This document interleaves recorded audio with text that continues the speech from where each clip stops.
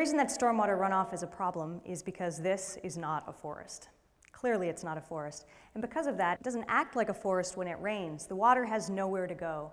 It pools up and then quickly runs off of these impervious surfaces, usually directly into a water body. Ends up looking like this. You see the sediments, you see the fine particles, but what you don't see are all the chemicals that are also in that runoff. So as an aquatic ecotoxicologist, that's what I'm concerned about are the chemicals. Sometimes you have pesticides, sometimes you have pharmaceutical products, but you always have heavy metals and a group of chemicals that are called polycyclic aromatic hydrocarbons, PAHs. And these largely originate from fossil fuels. So think in an urban setting about dripping oil, think about um, car exhaust, think about tires. For the past four years, my research group has been studying the toxicity and effects of urban stormwater runoff. We wanted to know, for example, what's actually in urban runoff? What are the concentrations of those chemicals of concern? How toxic is that runoff to aquatic animals, particularly fish? And finally, could we maybe prevent the toxicity if we tried to clean up the runoff in some way? So we started collecting highway runoff to try to answer these questions. And we're collecting it from um, not just any urban runoff, but highway runoff in particular, because we know it's going to contain some of the worst actors that we, can, that we know are present in urban runoff, particularly those metals and PAHs. There's actually a downspout from this elevated highway directly into our parking lot, so it makes collecting the runoff really easy for us. So what do we find? Well, in terms of chemistry, highway runoff has, not surprisingly, a lot of metals, particularly zinc and copper. It also has a lot of these PAHs. Now remember, it's a group of chemicals, so you can either add them all up and get total PAHs, which is at the bottom of this graph, or you can separate them out and look at them from smaller, lighter PAHs like naphthalene up to bigger, heavier PAHs like chrysene. This is the PAH fingerprint. In terms of looking for toxicity, we're using zebrafish as our primary animal, our primary aquatic model. This is a small, rapidly developing fish that responds to chemicals much in the same way that humans do. We've seen that sometimes the urban runoff will kill these fish, but more often it will cause sublethal effects. And included in that are things like an inability to hatch, de general developmental delays that make the fish smaller, a small eye phenotype. Their eyes are actually smaller. It's called microphthalmia. Pericardial edema. So pericardial means around the heart, and edema means fluid accumulation. So they're actually accumulating fluid around their heart, and usually this means there's a problem with the way their heart's functioning. And finally, in more extreme cases, you can actually see deformities of the jaw and of the heart itself. I want to show you what this looks like.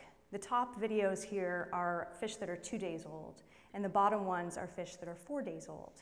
You, they have a two-chambered heart, and you can actually see the, the blood pumping between these two chambers. There we go. The rest of the fish have been exposed to stormwater runoff. Their hearts are also beating, their two chambered hearts are beating and pumping blood for the most part, but they have a variety of other problems, including that edema, the swelling around their heart, including pooling of blood, cranial hemorrhaging, which is actually blood bleeding in their head, and finally, visible deformities of the heart in some cases. And we don't know for sure what chemicals are causing, what particular chemicals are causing these effects, but some of those PAHs I was telling you about, we know can be cardiotoxic.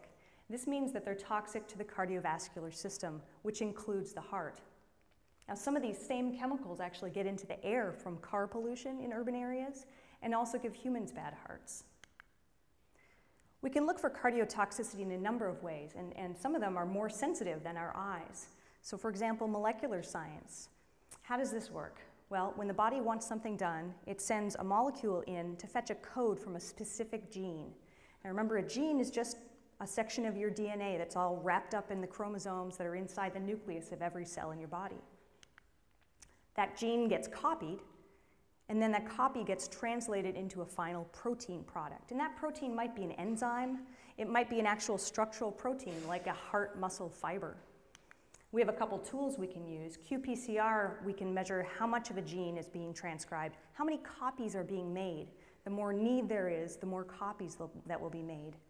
And with antibody staining, we can look at that final protein product, how much is being made and where is it being made in the body. One of the proteins we can look for is CYP1A. This is a protein made by a gene that gets turned on when there are PAHs in, in the water, and the body needs help detoxifying and eliminating them in the case of fish. So, this protein uh, you can see in this photograph by the, the green staining in this image is actually the protein itself being expressed in individual cells in the fish's skin in response to being exposed to stormwater runoff.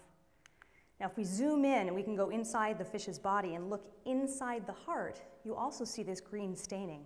So the, the detox enzyme is being expressed inside the heart itself. This lets us know that this animal is not only exposed to cardiotoxic PAHs, but they're actually acting on the heart. Another thing we can look for is that gene expression, how many copies of the genes are being made. So in the case where there are more cardiac abnormalities, when fish have more cardiac abnormalities, we see more copies of the gene being made. Another gene that we look for is uh, NPPB. This is a natriuretic peptide, and it's a gene that gets turned on when there's cardiac stress. It's turned on in the heart. So when there's more cardiac abnormalities, you see more copies of this gene being made. These two things together tell us that A, the fish exposed to runoff are exposed to cardiotoxic contaminants, and they also um, have bad hearts. So remember the third part of our research program is looking for whether we can prevent the toxicity by um, trying to clean up the water in some way. And the way that we're doing that is using green stormwater infrastructure. This includes things like pervious pavement, it includes uh, green roofs, and bioretention systems like rain gardens. Bioretention is just a fancy way of saying getting the water to soak into the soil, get filtered through the soil. So the way that we've done this is collect a whole bunch more runoff, and we brought it down to Washington State University in Puyallup. There we have these large soil bioretention columns. And uh, these are essentially just a core section through a rain garden. And they contain mostly sand and compost and some gravel at the bottom for drainage. We put the runoff in the top of the columns. Some of the columns had plants, some of them didn't. And then we collected the filtered runoff out of the bottom and used it for various tests. In addition to the tests with the zebrafish, we also used our test or you know our target organism, which is coho salmon. So coho salmon exposed to clean control water, 100% survival, nobody died. And this is what we expected to see. In the runoff that had not been filtered by the soil, all of the fish died. So, what was going to happen in the runoff that was filtered through that soil system? Well, good news, they all survived, just like in the clean water. With the zebrafish, we looked for those sublethal effects. And what we looked for were uh, whether the air bladder was inflated, um, how big the fish were, whether they had that swelling pericardial area, the bigger it is, the more swelling there is around the heart, and then that eye area, whether they had small eyes. So when the fish were exposed to their runoff, and we compared that to the control fish in clean water, they had no air in their swim bladders, in their air bladders. Um, they were smaller. They had swelling around their heart, so higher area, and um, their eyes were smaller. But if you treated the runoff by filtering it through the soil, whether or not there were plants involved, you saw a reversal of that. And we saw that there were now normal air bladders, normal sized fish, normal hearts, none of the swelling around the hearts and normal eyes for the most part, normal sized eyes. What about um, the molecular tools? We saw that passing the runoff through the soil prevented mortality and it prevented um, sublethal toxicity that we could see with our eyes. What about our molecular tools? This picture shows um, the heart of a control fish exposed to clean water. You don't see any of that green staining for the detox gene, the detox enzyme, because it doesn't need it. This second picture you've seen before. It's a fish that was exposed to runoff. And you see that detox enzyme in the skin and also inside the heart, where it's causing the cardiac problems. The water that was filtered through the soil, these are the images we see. You can see a tiny bit of green in some parts of the body, indicating there's still a little bit of the detox enzyme present, but none of it inside the heart anymore, and that's the important part. So when we integrate all of these effects, we look at different animals, different endpoints, lethal and sublethal. We see that by treating the runoff, by passing it through a soil filter, we've eliminated almost all signs of toxicity.